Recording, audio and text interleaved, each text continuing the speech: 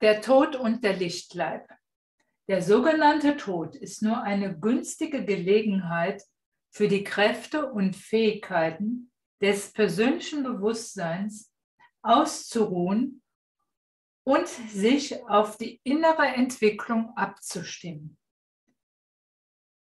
Er will sie von den Wirbeln und Missklängen der Erde befreien, lange genug, um einen Zustrom von Licht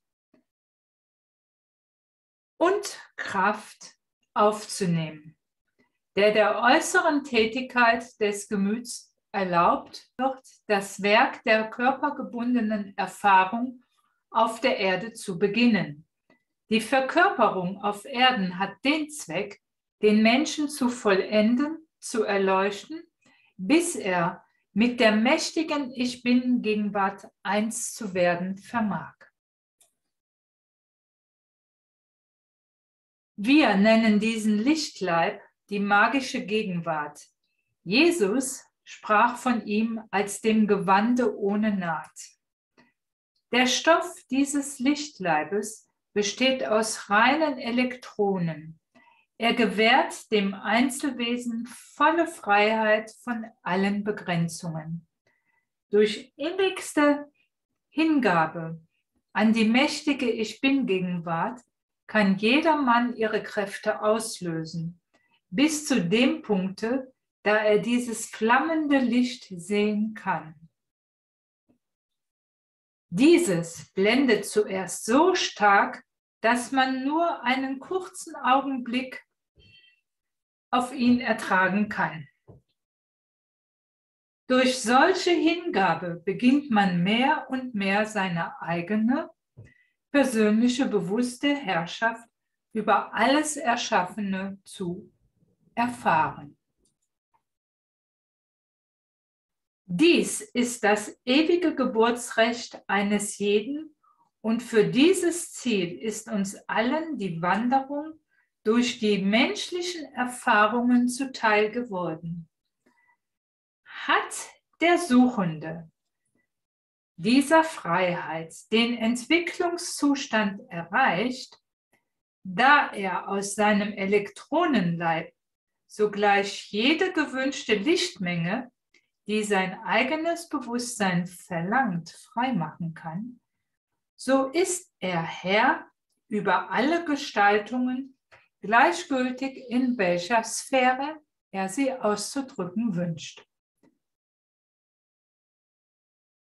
Man hat nur die Welt zu beobachten, um zu erkennen, was ein Missklang im Denken und Fühlen den herrlichen Körpern antut, die uns die Natur für unsere Erfahrungen im physischen Teil des Lebens zur Verfügung gestellt hat.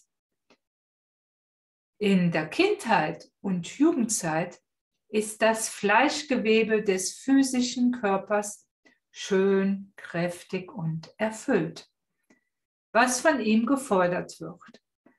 Doch mit dem Fortschreiten des Lebens, wenn das persönliche Selbst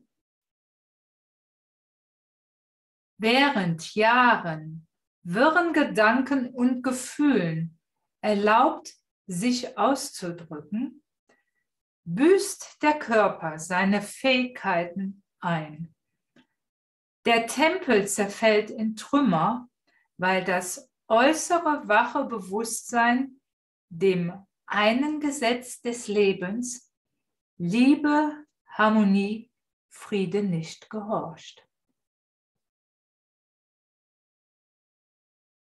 Nenne es, wie du willst, die ewige Wahrheit bleibt bestehen dass Missklang nur ein anderer Name ist für Zerfall, für Tod. Lernen die Menschen ihr Leben in einem ewigen Gesetz der Liebe zu leben, so werden sie finden, dass solcher Gehorsam sie vom Kreislauf der Geburt und Wiedergeburt erlösen wird. Und die Fragen des menschlichen Daseins werden verschwunden sein. An ihre Stelle wird die Freude ewig sich ausweitender Vollendung treten, die für immer innerhalb der Liebe bleiben wird. Immerwährende Schöpfung wird ewig andauern, denn Leben ist fortwährende Bewegung und kennt weder Schlummer noch Schlaf. Es ist ewiglich ein selbsttätiger Strom sich ausdehnender Vervollkommnung in Freude und Verzückung.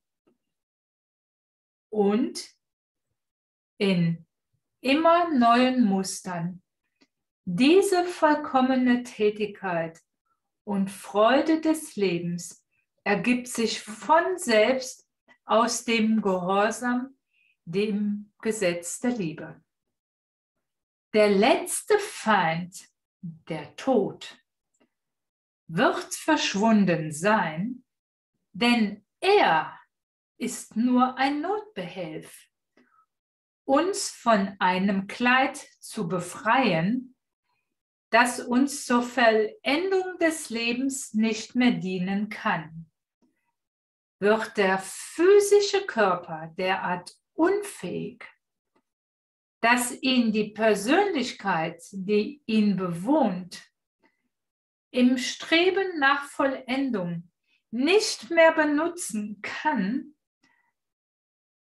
so greift die Natur selbst ein und löst die Begrenzung auf, damit das Einzelwesen Gelegenheit zu einem neuen, erfolgreichen Versuch bekommt.